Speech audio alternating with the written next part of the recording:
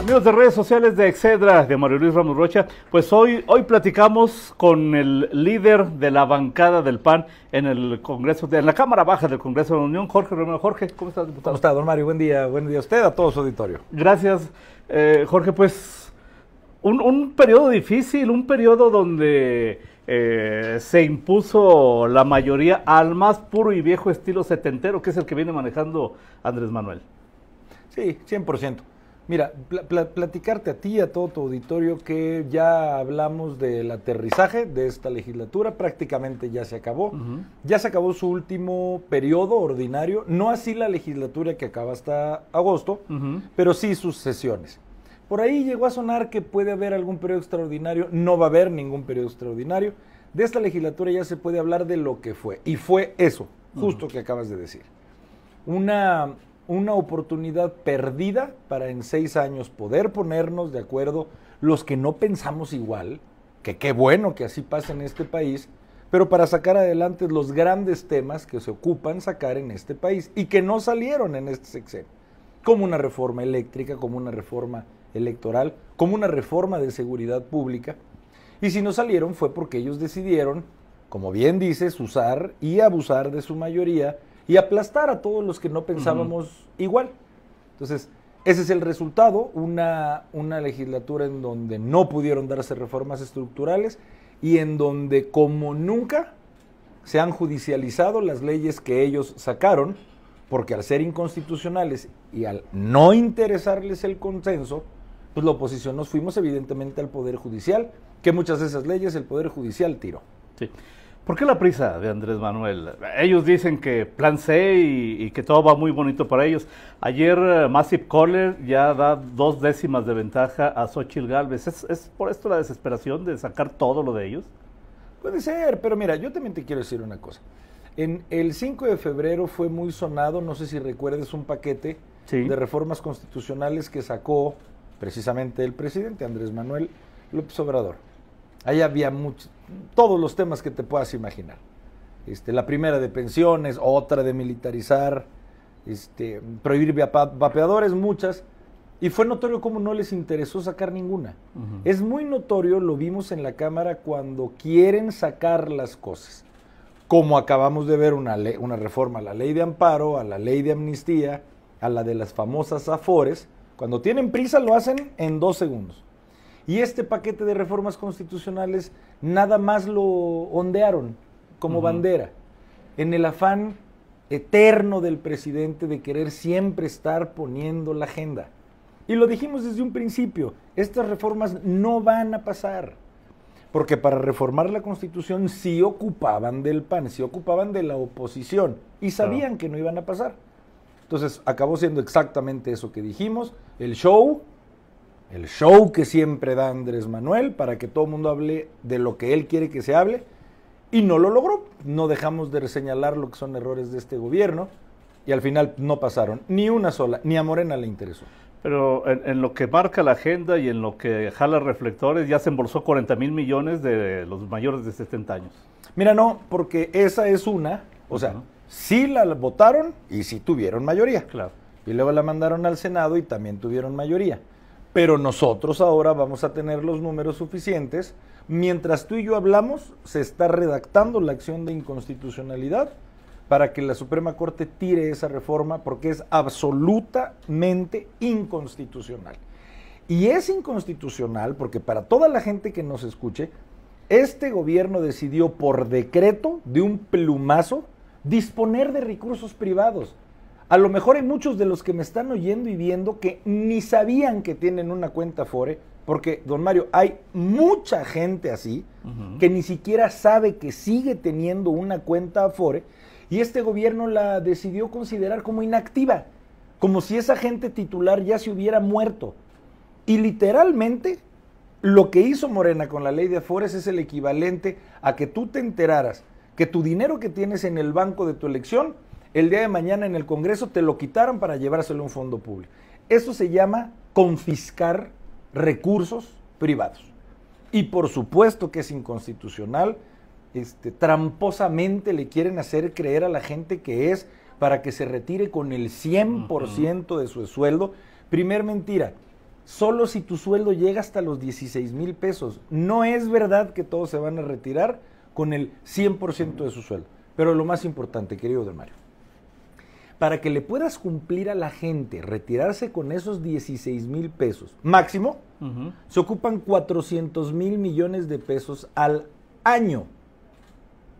Y ellos dispusieron de algo que no es suyo, que equivale a 40 mil millones de pesos. A toda luz es insuficiente. No va a cumplir ni un año. O sea, no, lograron conseguir una vaca, se llevaron un litro de leche, se lo acaban y se acabó esos recursos. Y además, insisto, sin autorización de los titulares. Es una barbaridad.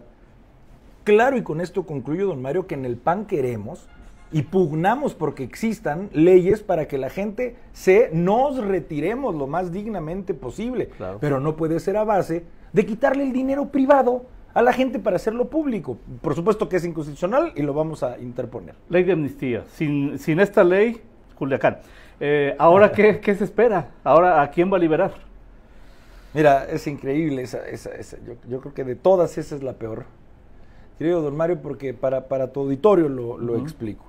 la figura de la amnistía en México y en muchos otros países es una figura que existe para para que se entienda, para liberar de responsabilidad penal a grupos de personas, a grupos de personas. Te pongo un ejemplo.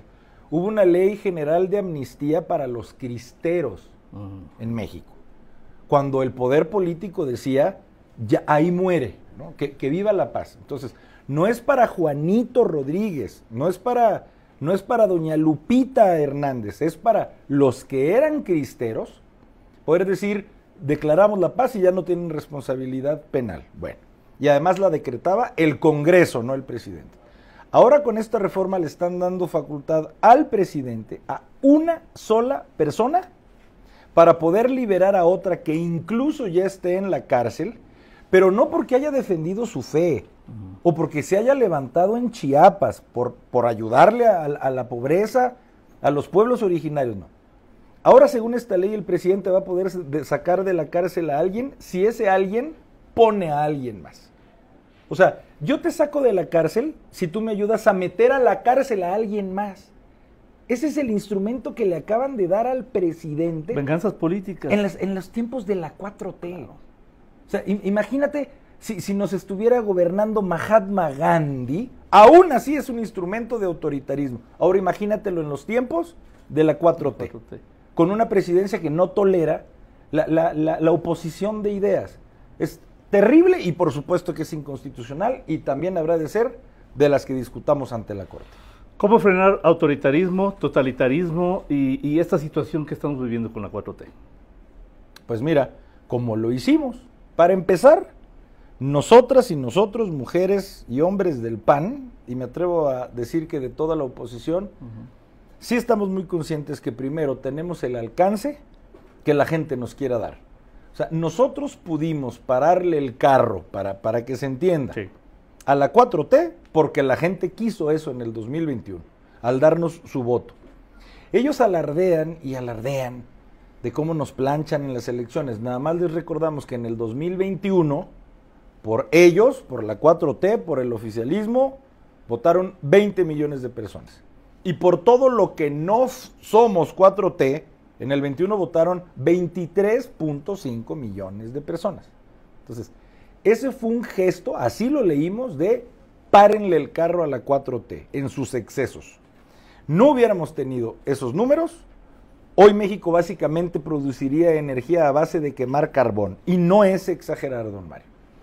Hoy vayan ustedes a saber cómo estaríamos sacando adelante estas elecciones, porque INE no habría. Yo les puedo asegurar a quienes me están viendo que si hubieran ido a formar unos 5 o 6 kilómetros más lejos a una casilla de lo que siempre se habían desplazado para ir a votar. Este, si hubieran tardado cinco veces más en una fila para votar, si se hubiera dado este desmantelamiento total del INE hoy no habría un solo policía civil en este país. Todo sería un régimen militar para nuestra seguridad ciudadana.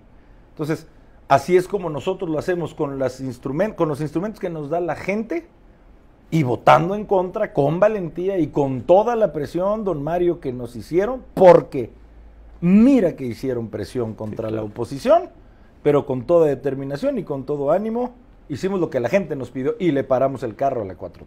Finalmente, diputado, eh, Andrés Manuel López Obrador encaja más eh, en, un narco, en, en la figura del narcopresidente o en la de un dictador o en la de los dos? Yo, yo creo que incluso le pondría unas dos o tres más. ¿Cuáles son? Mira, yo lo, yo lo que te diría es, de todo lo que uno puede hablar, mucha gente para bien, qué bien, será chamba de esa gente. Y de todo lo que se puede hablar para mal, de lo que fue este gobierno, si me preguntas a mí cuál fue la peor, eh, la peor actitud de este gobierno, fue, fue el haber hecho política pública, presidencial, el buscar la división entre el pueblo de México, el buscar clasificarnos entre gordos, flacos, este, entre buenos y malos, según él, siendo los buenos ellos, por supuesto, este, entre gente buena y maldita, y, y es una tragedia porque se supone que por lo menos quien preside es el que más debiera de buscar y fomentar nuestra unión y la unidad nacional. Y el ejemplo que yo pongo es toda proporción guardada el padre o madre de familia que tiene hijos y los hijos se pelean como hermanos. Pues sí, pero ¿qué es lo que instintivamente hace un papá? Separarlos. Pues convocar a la calma y, y, estar viendo cómo se resuelven las cosas porque son familia. Imagínense un papá que pique a sus hijos para que se estén peleando y diciéndole a la mitad de sus hijos que son buenos y que la otra mitad son malos. Son buenos los que juegan béisbol y a todos los que no les gusta el béisbol son, malos. Bueno, si, para quien me compre esa comparación, eso fue Andrés Manuel como, como padre de familia de México. Se dedicó en lugar de unirnos, a dividirnos y a clasificarnos. Y eso fue la 4T. Ah, terminó la legislatura. ¿Qué sigue para Jorge Romero? Se le menciona mucho en el CEN. Pues mira, yo voy a primero Dios reelegirme para la siguiente legislatura. Este, y después ya veremos. Para mí, eso que tú dices sería un altísimo honor.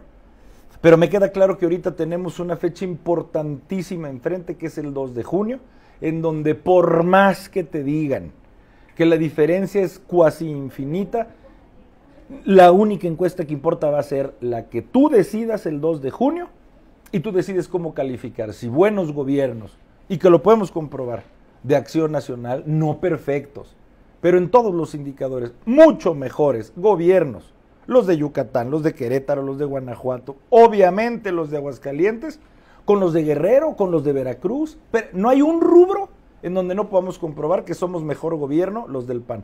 O, u, otra vez, la 4T, buscando divisionismo, u otra vez la 4T que ya acabó con la violencia en México, porque todos sabemos que ya no hay homicidios en México.